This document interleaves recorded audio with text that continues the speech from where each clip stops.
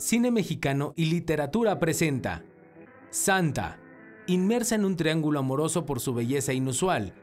Santa vive entre rechazo, abandono y amor en secreto, catalogada como la primera película de cine sonoro de México.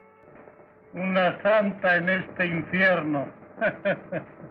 Protagonizada por Lupita Tobar y Donald Reed. Ciclo de cine mexicano. Sábado, 20-30 horas. Canal 49, el canal de Morelos.